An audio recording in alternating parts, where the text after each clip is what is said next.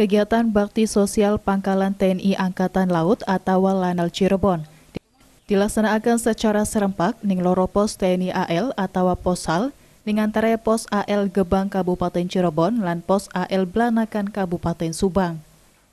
Akehe 115 penerima bantuan sing terdiri sing kaum duafa, wong tua jompo sangang puluh uang lan anak yatim piatu selawe uang kien ngolihna bantuan berupa paket sembako, vitamin kanggo daya tahan tubuh bari masker.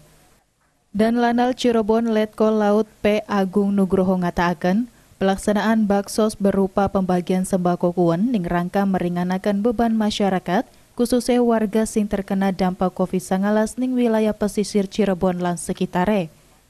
Bari anai bantuan kian, sebelie bisa setitik ngeringankan beban DWK sing kedampak COVID-19. Sejene ngupai paket sembako jajaran Lanal Cirebon melalui prajurit pos AL Gebang, lan pos AL Blanakan ngingetakan maning bakal peran penting masyarakat ning memutus mata rantai penyebaran COVID-19 yaiku bari ngejaga jarak. Rajin basuh tangan bari sabun, bari jage meriksa akan diri ning fasilitas kesehatan sing parek baka anak keluhan kesehatan. Wahyu Wibisana, RCTV, Cirebon.